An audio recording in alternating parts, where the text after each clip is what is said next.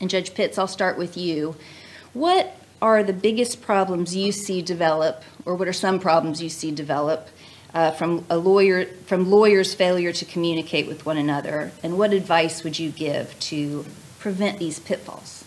Thank you for that question. And and what I want to talk to the room about, which is it was mentioned earlier, the people that are here aren't really the ones that need to hear the topic, but those that are not here the ones that benefit from it. But to me, the greatest challenge that we have if you're going to aspire to be ethical lawyers is how do we practice ethically when the other side does not?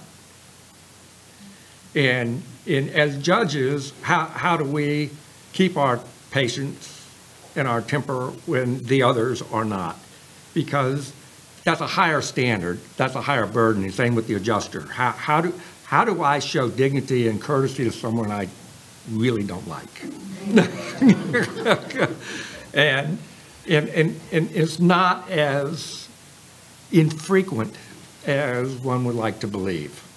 And one of the things that the nicest part about the workers' comp profession to me is, is the good and the bad. Having done, come up in a defense firm with a large defense firm with, with a reputation of being hard chargers where if there was discovery to be produced, they would shuffle the records and, you know, things that, that really just were mean-spirited. But that was part of the, the if you sued my client, I'm not giving you any, any benefit of any courtesy or doubt. In other words, it, I'm personally offended that you have sued my client. And that was the environment that I was trained in and grew up in. And you get personal injury and med mal, some of the other stuff, and it's, it's a broader community. So people don't see each other as much. And so they tend to be more litigious with each other. The, the beauty of comp and probably the appellate practitioners is it's a much smaller community. And we tend to see the same people over and over and, and over again. So that while I have the advantage on this case, I may not have the advantage on the next case, and, and therefore it's a long-term 40 to 50 year proposition of, of, if you look down your career, you have to understand that what comes around goes around. Um, and so the courtesies that you extend uh, will ultimately come back to you. And, I, and the question I want to add to one thing, what's the biggest problem you see to develop from, from lawyers' failure to communicate civilly with one another? Because when, when you get real animosity, personal animosity between the lawyers or between the clients, I, I know if you're an adjuster in here, there, there are some claimants you just really don't like. and I've had adjusters tell me when I was practicing law, Neil, I'd rather pay you than the claimant. and so I, am not going to settle. You're going to take this to trial. I'm, you're going to win, and I'm going to pay you, but I'm not paying your client. And so that breeds a lot of unnecessary expense and litigation. It just does. It, it tends to make the system look bad and break down. And so this, this stability aspect of, of really is designed, if you look back at civilization, you go back to common law, you, you watch the way the barristers practice, it was designed for the security and the longevity of the legal system as a way of separating us from a lawless society. And, and so the, what we do is, is a continuation of a long line of lawyers that and judges that have been administering law.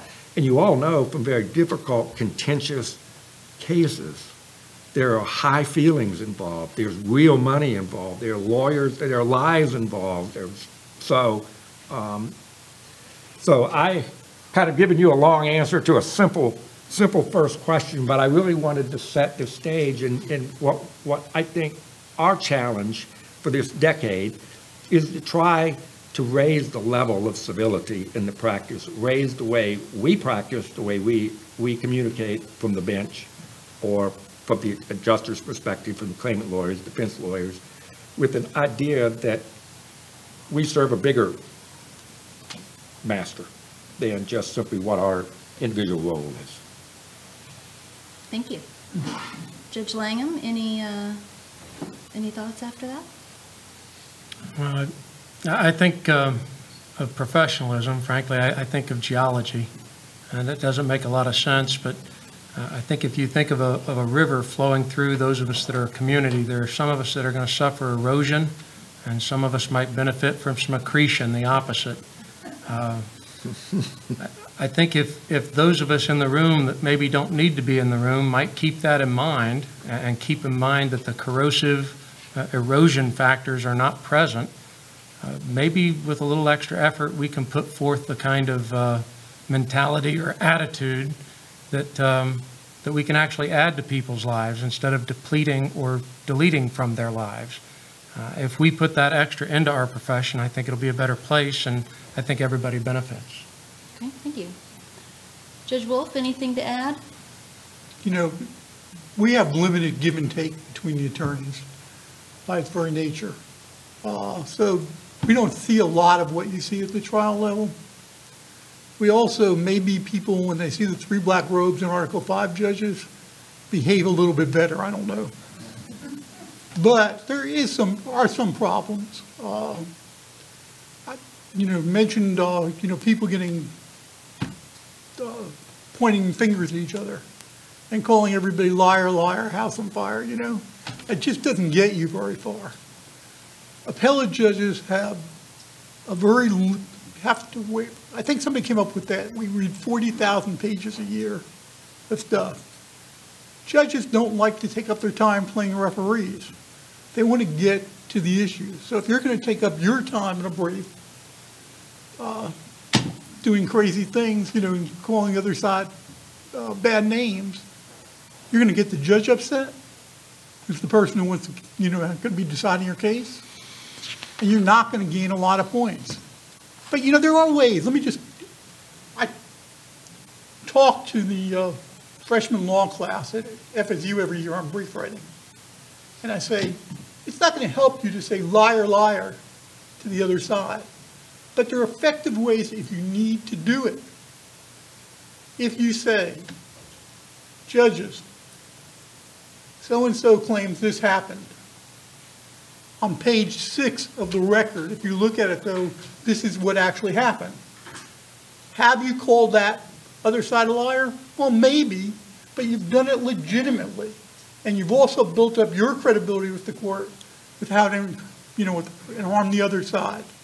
So you can do that in a civil manner, probably more effectively.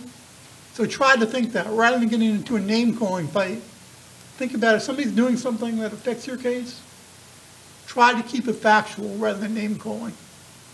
And then, you know, treat people the way you want them to be treated, to treat- you. Yeah, something I was reading in, in, uh, in this literature about professionalism basically referenced the golden rule.